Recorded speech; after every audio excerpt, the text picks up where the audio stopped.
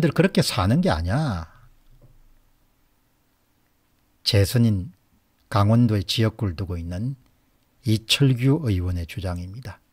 새파랗게 젊은 이준석 쫓아다니면서 이주정 득택의 국힘당 최고위원까지 된 1990년생의 김용태에 대해서 법적 조치를 취하겠다. 그러면 이철규 의원이 올해 아마 60대 중반 정도 됐을 거고 김용태가 1990년생이니까 뭐 30대 중반 정도 안 됐겠습니까? 그러면 여러분 어떻습니까? 아들뻘인데 얼마나 여러분들 기분이 상했으면 은 법적 조치를 취하겠다. 허위 사실 유포에 대한 법적 조치를 취하겠다는 거죠. 이준석이가 1985년생이고 김용태가 1990년생이고 32살이네요. 이철희 국회의원이 1957년생입니다. 그런데 이 김용태 같은 친구가 이준석 창가를 부르다 나머지 이준석 창가를 합리화하기 위해서 이철희 의원을 비롯해 가지고 여러 사람들을 참 무고한 거죠. 없는 말을 꾸몄으니까 없는 사실을 퍼뜨렸으니까 오죽했으면 제가 이렇게 말씀을 드리고자 하는 것은 오죽했으면 아들뻘 되는 애들을 법적 조치를 취하겠냐. 그것도 재선 의원이 그게 너무나 예. 그래서 오늘 여러분 방송 주제를 난장판도 난장판도 이런 난장판이 있을까? 그냥 여러분 제 속내는 개판도 개판도 이런 개판이 있을까? 이렇게 여러분들 마음이 드는데 그렇다고 해가지고 앞에 썸네일 제목을 개판도 개판도 이런 개판이 있을까 이렇게 하기가 좀 그렇지 않습니까? 점잖은 체면에. 그래서 난장판도 난장판도 이런 난장판이 있을까 이렇게 이야기를 한 겁니다. 근데 속마음은 개판도 개판도 이런 개판이 있겠냐 이렇게 이야기한 겁니다. 자기 아버지 뻘 되는 사람한테 허위 사실을 유포하고 무고를 하고 이런 일들이 그냥 부끄럼 없이 행해지는 나라가 되어버려. 하기야 뭐 선거를 도둑질 하는데 뭘 못하겠습니까? 도덕적으로나 윤리적으로나 정의라는 면에서 대한민국은 파산 상태입니다. 본래 이름 세상살이라는 것이 개인도 그렇지만 공동체도 정신이 무너지면 물질도 무너집니다.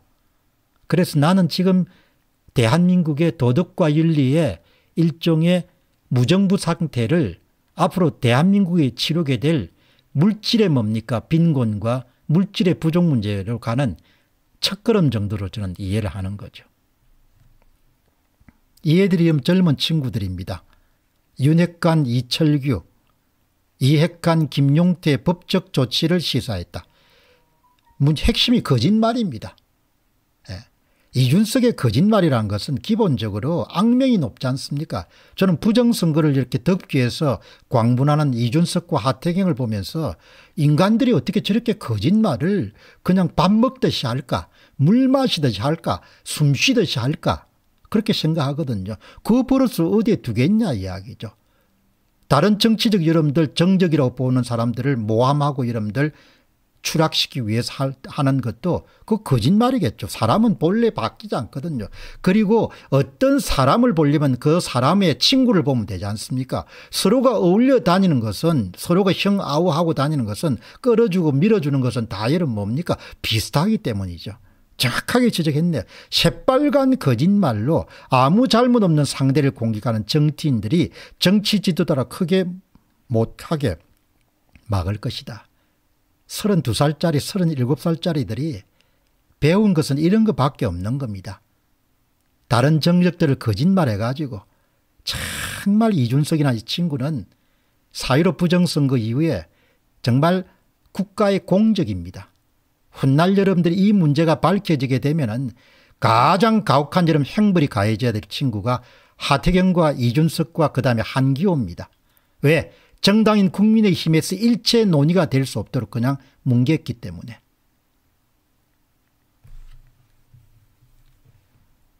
이 보통 심각한 문제가 아닙니다. 이 친구들이 지금 여러분들 제가 공박사가 왜 저렇게 이준석 문제를 집중적으로 다루냐. 이 문제가 갖고 있는 게 굉장히 심각한 문제입니다. 이게 국가에 끼친 해악이란 것은 말과 글로 표현할 수 없을 정도로 그 해악이 큰 겁니다. 그냥 이준석이가 무슨 호텔 방에 들어가서 여자하고 잔 문제 차원의 일탈 문제가 아니고 예? 증거인멸 교사 정도가 아니고 이 친구가 지금 하고 다니는 꼴을 보면은 정말 내가 볼 때는 국가의 적이란 생각이 드는 거죠. 그렇기 때문에 이 문제를 다루는 겁니다. 그리고 이 문제가 합리적으로 제대로 해결될 수 있도록 13일 하루 전인 12일 날 있던 인터뷰입니다. 그 13일 인터뷰가 있고 난 다음에 이준석 인터뷰가 있고 난 다음에 이철규 의원과 함께 반론 차원에서 기회가 주어진 것이 아니고 그 전날이 있습니다. 이철규 의원이 김용태가 이렇게 거짓말을 라디오에 와서 한 겁니다. 이렇게 거짓말을 퍼뜨리고 나면은 그것을 해명하거나 주워 담기가 참 힘들지 않습니까?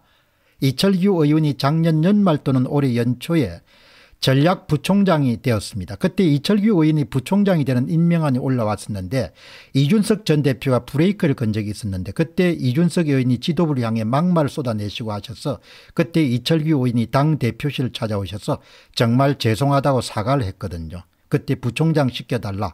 이제 와서 또 지도부를 비판하고 이런 행동들이 정말 정치인으로 글쎄요. 그러니까 이 내가 볼 때 이 애들이 완전히 그냥 그 인간 막장이라고 보는 것은 거짓말을 왜 하냐 이야기 입니다. 이준석의 거짓말이 아니라 사유로 부정선거를 이렇게 뭡니까 은폐하는데 그 거짓말을 보고 내가 학을 뗐거든요. 저거는 정가 볼 때는 인간으로서 할 수 없는 일이다. 보통 사람 같은 경우는 가슴이 두근거려 가지고 거짓말을 진말 진실처럼 참말처럼 하는 거가 야 저거는 보통 위험한 애가 아니구나 그런 생각한 거죠. 이철규 의원이 이런 게 없었다는 거 아닙니까 이때 이철규 의원은 이준석 전 대표와 소위 이준석의 척건들은 항상 이런 식입니다. 거짓 주장으로 국민을 호도합니다. 여러분 여기서 굉장히 중요한 것은 거짓말이 일상이 된 겁니다. 지금 대한민국은 사기가 일상이 되고 거짓말이 일상이 되고 무고가 일상이 되고 조작이 일상이 돼버린 나라입니다.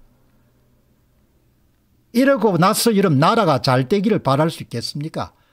조작과 사기와 위정과 거짓말이란 것은 다 사촌사이지 않습니까? 유전자가 같지 않습니까?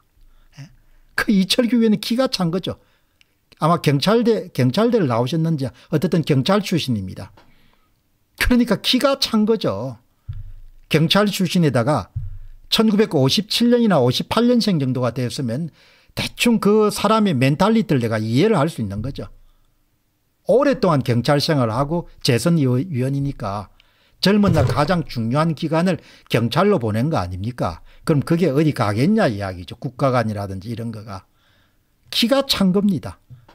이준석과 이준석의 측근들은 항상 이런 식으로 거짓 주장을 합니다. 그리고 국민의 눈을 가리고 귀를 속입니다. 이 이야기인 거죠. 다시 이철규 의원의 주장입니다. 이것은 이준석과 그 주변 인물들을 이해하는데 대단히 직접 몸으로 부딪히면서 체험한 사람들의 이야기이기 때문에 정말 팩트를 알고 이야기해야 되는 것 아닙니까 2022년도 1월 6일 날 최고위원회의에서 권영세 선대본부장을 사무총장으로 저를 전략기획부총장하는 임명안을 의결할 예정이었습니다. 그런데 이준석 전 대표가 반대하면서 그 이유로 안건 상정 권한은 당대표에게 있다는 점을 들었습니다. 권영세 본부장은 사무총장으로 임명하면서도 저의 전략기획본부장 임명을 막은 겁니다. 여러분 여기서 이제 우리가 분명히 알아야 될 것은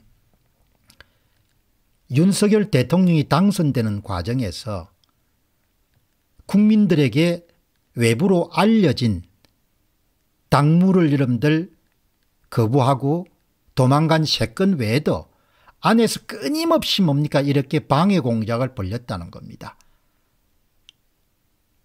선거대책위원회 본부에서 어련히 알아서 두 사람을 권영시하고 이철규를 톱과 부톱으로 임명했겠습니까 그럼 당대표가 협조를 해줘야 되는 거 아닙니까 저는 이 사례 하나로서 끊임없이 윤석열을 당선이 안 되도록 노력했구나.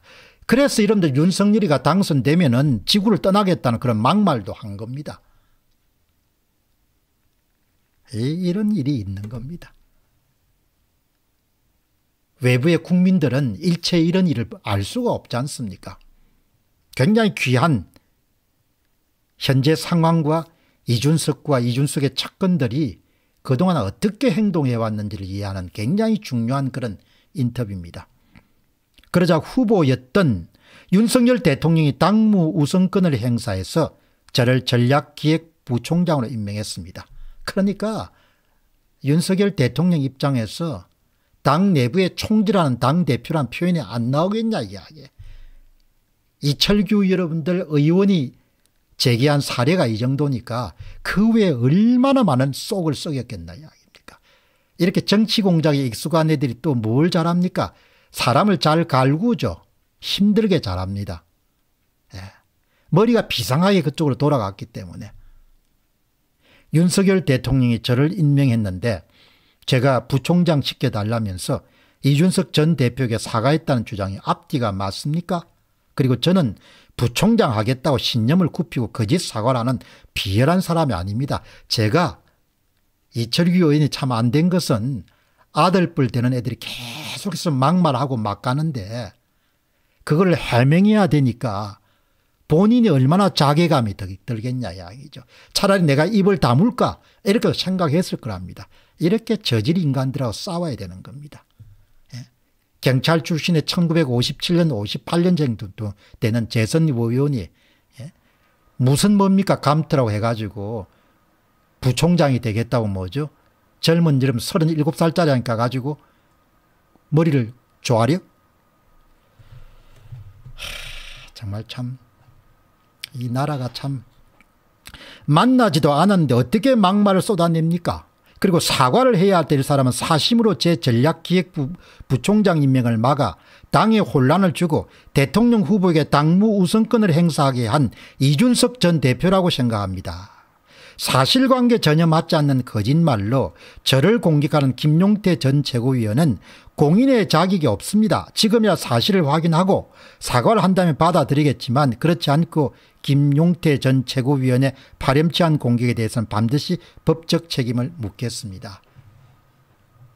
1990년생입니다. 32, 3세 정도 되는 이 젊은 친구들이 거짓말을 밥 먹듯이 해서 정적을 공격하니까 이게 여러분들 실상인 겁니다. 그래서 여러분 제가 오늘 적나라하게 난장판 난장판 이런 난장판이 있을까 개판 개판 또 이런 개판이 있을까 이렇게 여러분들 표현하는 겁니다. 예. 벌금이 50만 원이 나오든 200만 원이 나오든 저 사람은 거짓말하는 정치인이란 주홍글 씨를 새겨놓겠습니다. 그래야 점타는 이유만을 내세운 저런 정치인들이 활개치지 못할 것입니다. 새빨간 거짓말로 아무 잘못 없는 상대를 공격하는 정치인들이 정치 지도자로 크지 못하게 막는 것이 제 소임이라고 생각합니다. 이렇게 이름 당하게 되면 참 열받죠. 예. 그 발언을 거짓 발언을 하고 그것을 친소관계가 있는 언론들을 동원해가 보도를 하고 그걸 기정사실하고 이런 것이 한국의 정치판에서는 아주 일상화가 되어 있지 않습니까? 진절머리가 쳐지는 일이지 않습니까? 조선조하고 뭐가 다른지 모르겠습니다. 예? 그냥 한국인의 뿌리에 유전자에 각인이 되어 있는 것 같아 이런 게. 파당을 지어가지고 뭡니까? 적을 공격하고 숙청하고 하는 거가. 이준석의 첫건으로 김용태 전 최고위는 장해찬 청년재단 이사장이 이준석 전 대표는 선당 후사를 근본 없는 말이라고 비판했지만 지난 때 8월 의원들에게 선당 후사를 요구한 당사자가 바로 이준석 대표다. 이렇게 비판하자 모든 당 혼란의 책임은 민주주의를 파괴하며 세련되지 못하고 무식한 방법으로 절차적 정당성을 뛰어든 윤석열 측근에 있다는 사실을 만천하다라는데 여기에 대해서는 비겁하게 침묵하고 있다. 민주주의를 파견하고 예, 김용태나 이준석이나 하태경이나 한기호 같은 사람들은 민주주의를 파괴하고 이런 말 쓰면 안 되는 거죠. 선거 부정을 그렇게 은폐하기 위해서 날뛰는데 무슨 민주주의 이름들 절차를 파괴하고 그런 말을 쓸 수 있겠습니까? 음?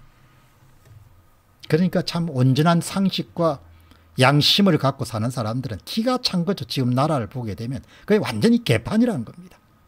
예? 민주주의 민주주의를 파괴한다. 참. 예. 참 개판이 이런 개판이 있을까? 예. 그런 생각이 드는 거죠. 이철규 의원이 예. 여기 또 정확하게 이야기했네요. 이준석과 그 일파들이 어떤 짓을 하는지 자신이 책임져야 될 일을 상대에 뒤집어 씌우는 이준석의 정치 행태 이재명과 대동소이합니다. 책임을 지지 않는 거죠. 책임을. 그게 굉장히 핵심입니다. 이준석의 책임을 지지 않는 행동은 사이로 부정선거에 대한 자세나 본인의 성상납 의혹에 대한 해명이나 해명이 없었으니까. 그리고 성상납 증거인멸 교사 의혹에 대한 그런 것을 대하는 태도나 그 다음에 최근의 문제를 모두 다 윤석열 대통령은 윤석열 대통령 지근거리에 있는 사람에게 돌리는 이런 작태는 그야말로 무책임의 절정이자 극치라고 볼 수 있는 것이죠. 이게 좌익들이 갖고 있는 사고방식의 아주 전형적인 특징입니다. 부르주아의 책임, 가진 자의 책임 이렇게 해서 이런 덤탱이를 씌워가지고 자유도 뺏고 재산도 뺏고 생명도 뺏고 그런 짓이 여러분들 20세기 100년 동안 계속되었지 않습니까? 좌파적 사고방식의 가장 큰 책임은 공동책임 혹은 무책임의 핵심인 거죠.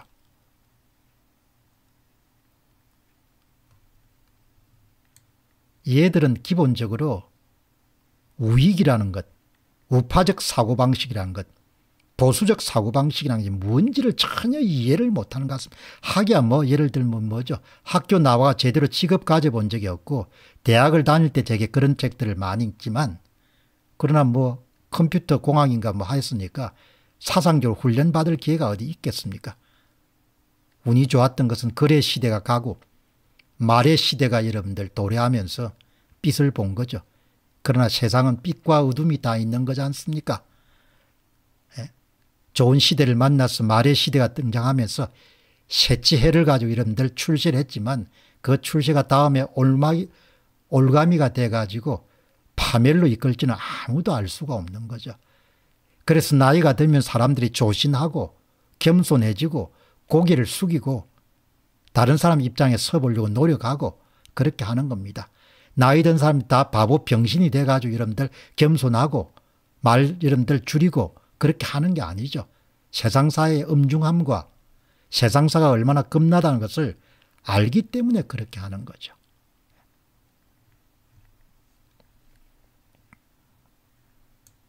여기도 정확하게 나옵니다. 저는 이철규 의원입니다. 이준석 전 대표가 마치 권력을 가진 세력이 자신을 핍박한다는 프레임을 만들기 위해서 지극히 개인적인 문제인 성접대 의혹을 정치 쟁점화시켰다고 합니다. 얼마나 부끄러운 일입니까? 이런 것까지 다 이용해 먹는 거죠. 성접대 의혹이 떳떳한데 왜 김철근이란 척근을 야밤중에 대전으로 내려보내가지고 장의사란 제보자와 만나게 했는가? 너무 뻔하지 않습니까? 성접대를 받았으니까 그것을 은폐해야 되니까 보통 사람은 그렇게 생각할 수밖에 없지 않습니까? 성접대 의혹의 배우가 윤핵관 실명을 대라. 가세인이 폭로한 거지 않습니까? 에? 가세인의 폭로가 어떤 연유로 이루어진지 알 수가 없지만 경선 기간 중에 윤석열 대통령과 통화 녹취록 공개 논란을 지적했더니 통계까지 왜곡하면서 피해를 줬다.